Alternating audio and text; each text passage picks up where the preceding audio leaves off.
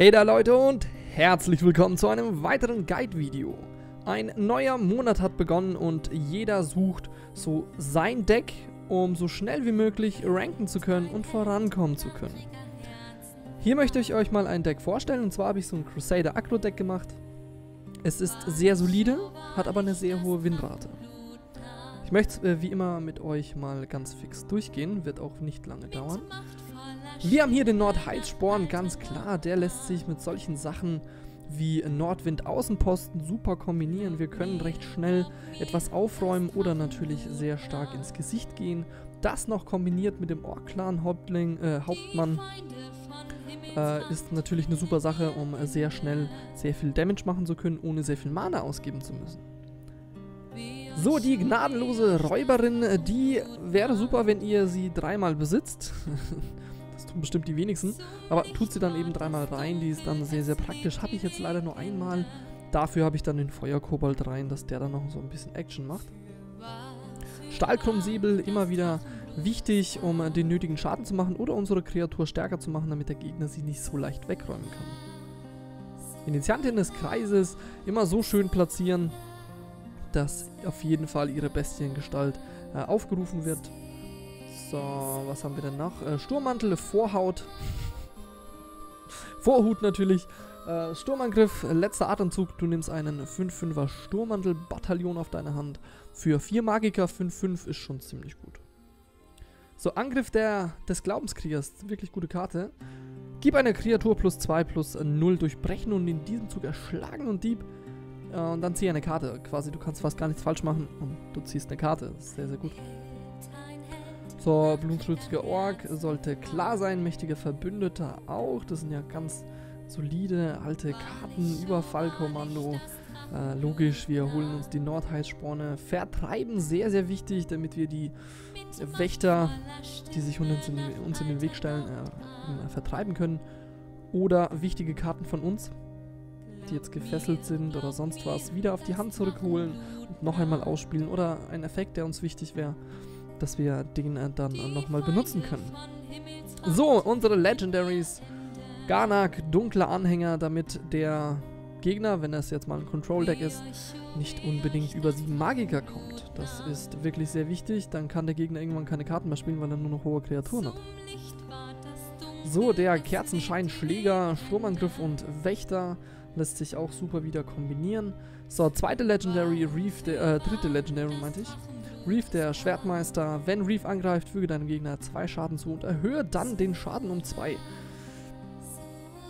Wenn der Gegner den nicht wegbekommt, kann der Schaden, den er macht, unglaublich hoch sein. Vor allem, wenn er dann noch irgendwie gebufft ist durch den Ork-Clan-Hauptmann oder den Nordwind-Außenposten. Da habe ich schon Matches gehabt, da war es sehr, sehr schnell vorbei mit dem Gegner. So, Ulfrix Huskal. Wenn eine gegnerische Rune vernichtet wird, ziehe eine Karte. Natürlich dann immer erst spielen, wenn eine Rune vernichtet wird. Und das kommt sehr oft vor, muss ich sagen. So, Unterweltrecher, auch äh, eine ganz coole Karte. Äh, Sturmangriff, Beschwörung, alle gegnerischen Kreaturen in dieser Reihe verlieren äh, Deckung. So, die können sich also nicht beschützen, wenn jetzt äh, jemand zum Beispiel so eine blöde Fledermaus spielt, die ihm Entzug geben würde. Können wir die damit vernichten. Aber hat Sturmangriff, ist praktisch. Okay, Leute, that's it sehr solides Agro-Deck und wir werden es direkt mal testen. So, gnadenlose Räuberin lassen wir auf jeden Fall auf der Hand. Überfallkommando brauche ich jetzt noch nicht. Mir wäre eine andere Karte wichtiger. Sowas ist eigentlich ganz gut. Der Krummsäbel wäre besser, muss ich sagen, weil wir die gnadenlose Räuberin dann hätten etwas verstärken können.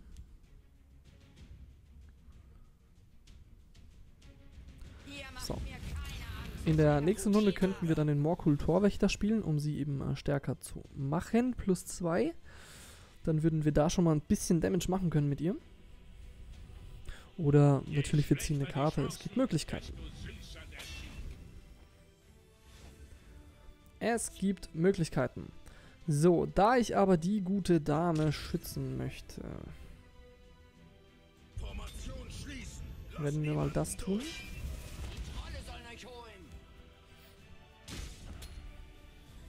Das muss reingehen. Davon stirbt er leider nicht. Das ist sehr, sehr schade.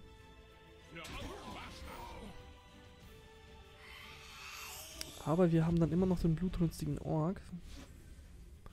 Zweimal. Damit können wir dann immer noch Sachen machen. So, gehen rein. Sie macht nochmal einen zusätzlichen Schaden und der ist jetzt sehr wichtig. So. Clearen ist jetzt gerade nicht so wichtig für mich. Denn wir wollen Schaden machen.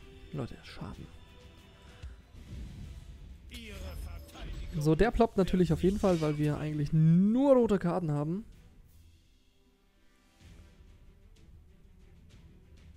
Magnus, Gott der Zauberei, steh mir bei! Zum Glück war es kein Wächter. Der soll ruhig angreifen, da sollen mir die nötigen Karten geben. Wir werden aber mehr Schaden machen können als er.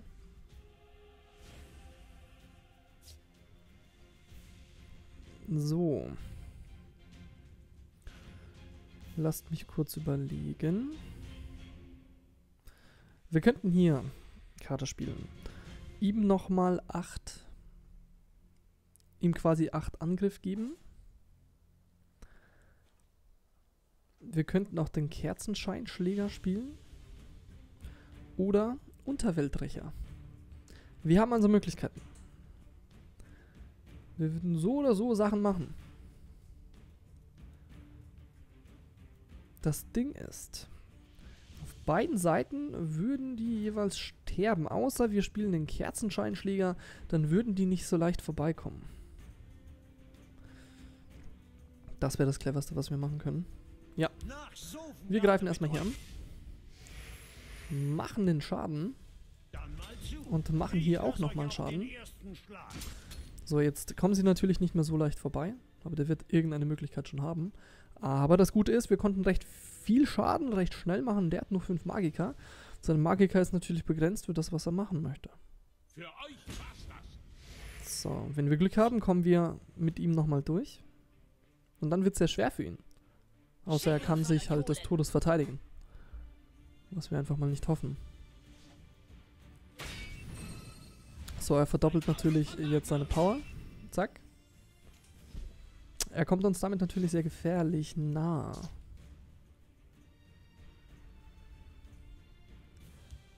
Aber wir werden sowas hier tun.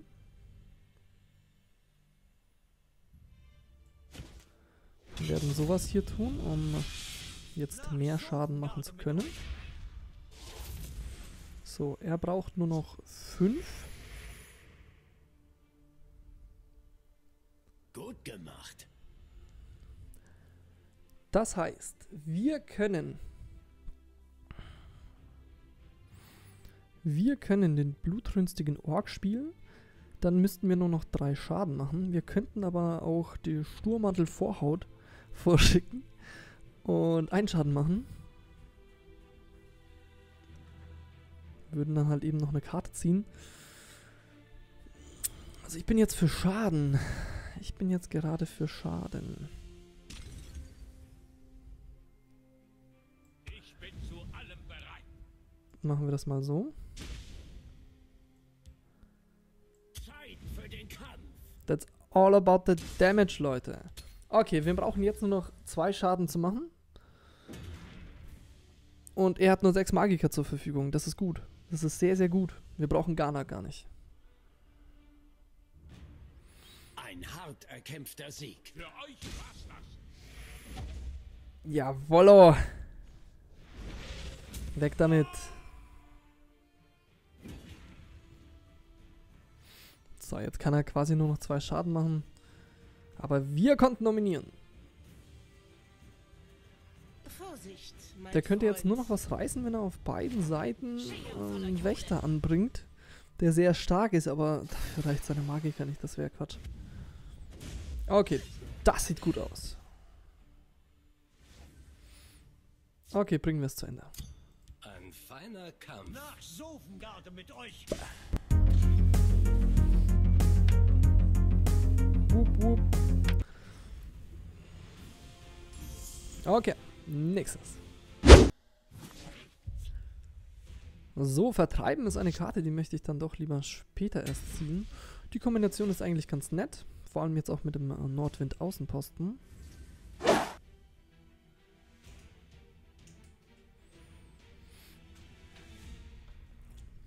Wenn er stirbt, bekommen wir dann wenigstens äh, den äh, Sturmmantelbataillon auf die Hand. Können es in der vierten Runde dann bereits ausspielen.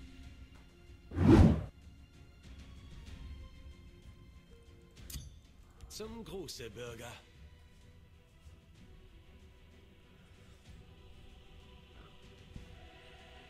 Was ist denn los?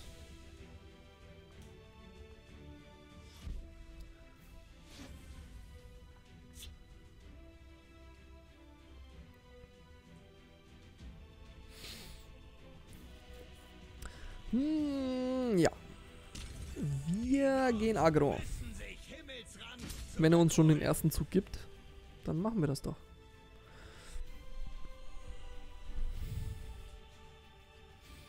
Das Gute ist, wir könnten ihm... Also wir könnten einmal den Nordwind Außen, Außenposten ausspielen.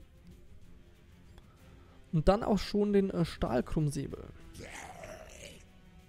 Damit wäre er dann äh, schon mal nicht so leicht zu töten. Jetzt vor allem. Machen wir mal so. Dadurch haben wir natürlich jetzt schon sehr viele Karten ausgespielt. Das ist ein bisschen bitter.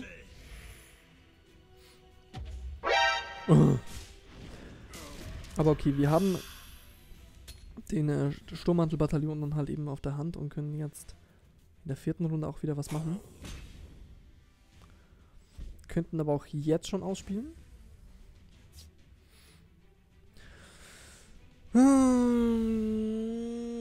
Der wird sehr nervig. Der wird sehr nervig.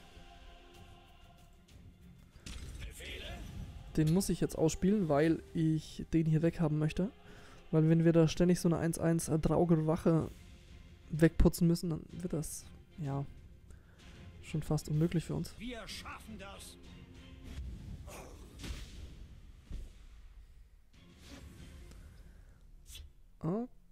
Okay.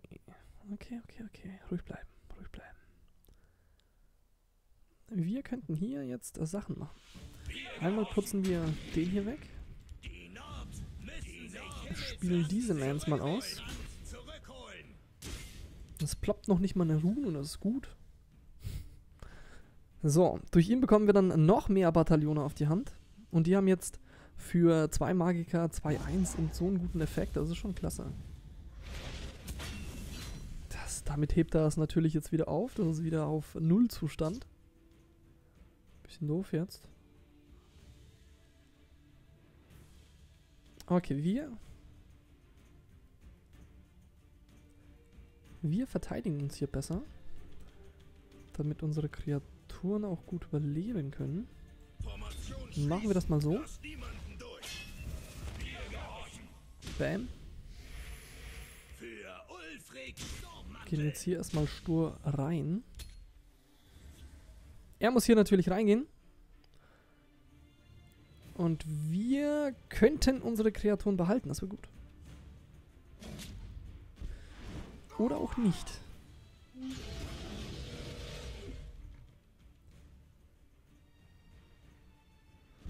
Er macht natürlich keinen Damage, wäre jetzt auch echt dämlich.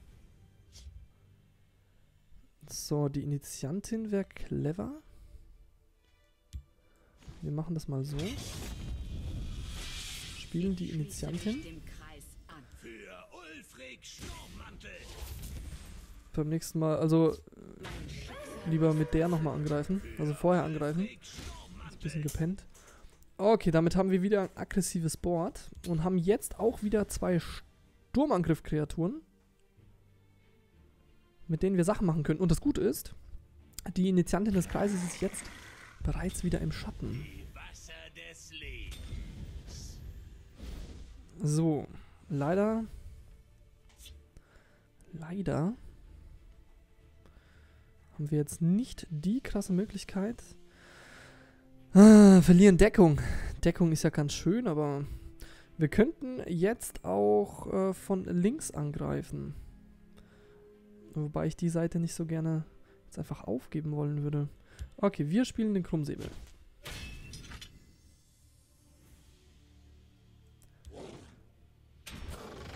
Powern den weg. Müssen hier natürlich die hier auch wegpowern. So, gehen hier rein und spielen hier nochmal den Sturmangriff. Sie können sich nirgendwo verstecken. So, jetzt brauchen wir nur noch zwei Schaden zu machen. Den können wir dann eigentlich ganz einfach mit dem Kerzenscheinschläger machen. Der wird sich hier wahrscheinlich hundertprozentig jetzt verteidigen. Auf der Seite. Und dann ist die linke Flanke frei. So. So, wie ich es gesagt habe. Achso, und jetzt können wir natürlich mit dem Kerzenscheinschläger ohne Probleme Sachen machen. Okay. So schnell kann's gehen. Bonusrunde, Leute. Jetzt muss ich mich noch mehr anstrengen. Bin noch nervöser. Das ist halt echt voll doof, weil dir so viel flöten geht dadurch. Okay, vertreiben möchten wir nicht am Anfang haben. Kerzenscheinschläger auch nicht. Angriffsglaubenskrieger. Ich äh, möchte doch lieber ein paar nützliche Kreaturen wie sowas hier. Sowas ist natürlich ein super Start. Vor allem auch mit dem Feuerkobold. Zum Gruße, Bürger. So, dadurch kriegen wir recht schnell. Dadurch kriegen wir recht schnell Schaden zusammen und können dann auch den Effekt von Ulfrics Huskal einsetzen. So, wir kriegen wieder den Sturmmantel, die Sturmmantel-Vorhaut raus. So, in der nächsten Runde können wir dann schon Ulfrics... Ah, nee, können wir nicht. Ich habe doch den scheiß Ring gar nicht. Okay. Das ist jetzt natürlich doof. Ich hasse diese Fledermaus. Ich hasse sie mit all meinem Sein. Muss ich wegmachen. Okay. Wir sind immer noch aggressiv, aber diese Fledermaus hat uns jetzt übelst den Strich durch die Rechnung gemacht. Oh, wie ich sie hasse.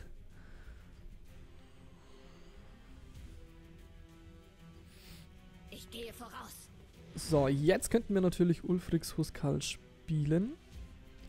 Weil jetzt ploppt auf jeden Fall eine Rune. Schon wieder diese scheiß Fledermaus, das gibt's doch nicht. Aber die Rune ploppt auf jeden Fall. Wir machen Himmelsrang zu dem, was es einmal war. Und So, wir ziehen da erstmal ein bisschen nach. Ich kann nur hoffen, dass er sie jetzt nicht noch stärker macht. Er muss reingehen, zum Glück.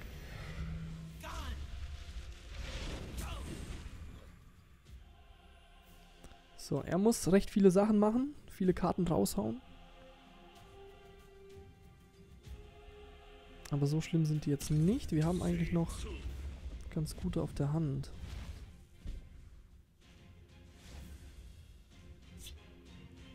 Also ich überlege, ob wir hier eine Verteidigung ausspielen. Das wäre gar nicht so schlecht.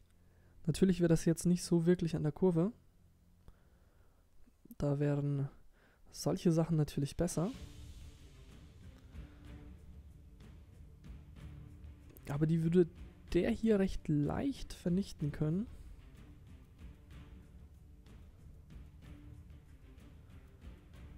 Das wäre ein bisschen nervig. Aber so könnten wir recht viel Schaden machen. Aber die zu beschützen ist mir jetzt gerade ein bisschen wichtiger.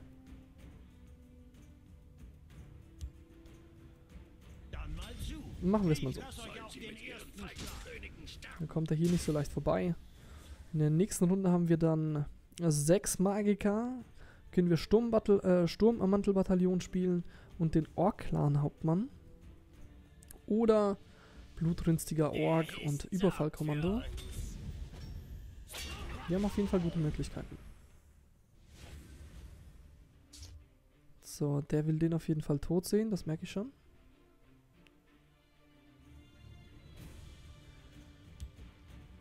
Überfallkommando ist Dead Thing gerade. Amamora stellt uns auf die Probe. Wir Sollen sie mit ihren falschen Königen sterben? greifen diesen Hiesen an. Davor spielen wir natürlich, das ist jetzt wichtig, den Ork-Clan-Hauptmann. Sollen sie mit ihren falschen Königen sterben? Gehen hier natürlich rein. Spielen einen von denen. Rocken den weg. Und gehen hier direkt nochmal rein. So, ziehen direkt noch eine Karte nach und machen nochmal Schaden, weil wir doch da gerade äh, dabei sind, bevor der noch stirbt. Das wäre natürlich nicht so toll.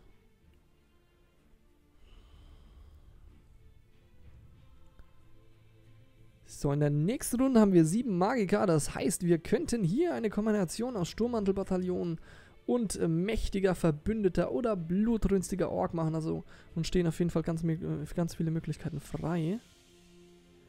Unterweltrecher, Initiantin des Kreises wäre natürlich gut, weil sie dann direkt verstärkt wird.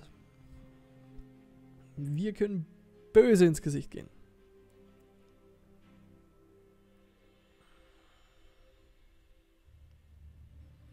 Okay, der ist jetzt gerade ein bisschen verzweifelt.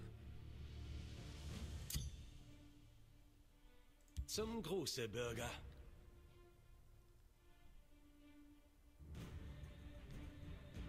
Ich glaube, der ist genervt. Ich glaube, wir haben ihn zum Weinen gebracht.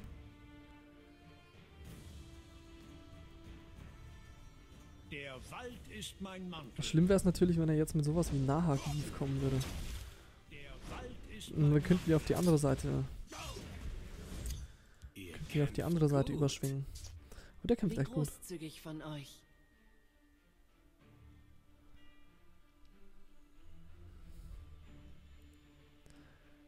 So, wir machen sowas hier. Greifen hier nochmal an. Können die Unterweltrecherin spielen. Sie können sich nirgendwo verstecken. Spielen hier nochmal die Initiantin. Und lassen es gleich mal ploppen, aber da, dadurch hat sie direkt mal 5-3. Und die Chancen stehen gut.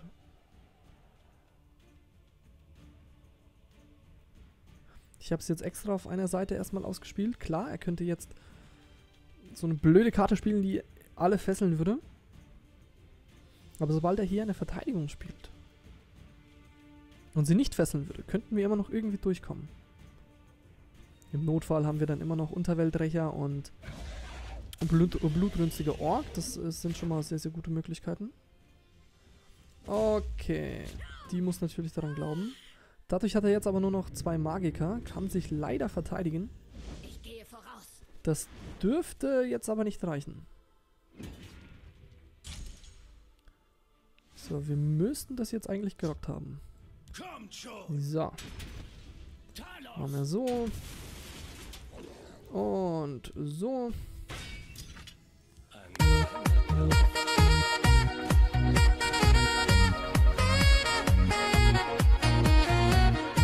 Und wieder einmal hat der Zorn gesiegt. Freunde. Bam! Drei Siege. Drei Spiele, drei Siege. Also wenn das Deck nicht geil ist, kann ich euch wirklich nur ans Herz legen, Leute. Baut's nach, probiert es aus und rankt euch in die Hölle. Hallo. Und lasst mir gerne ein Feedback da. Ich würde mich freuen, wie ihr mit dem Deck zurechtkommt. Wenn ihr Fragen habt, einfach Fragen in der Kommentarbox. Okay, Leute, bis zum nächsten Guide.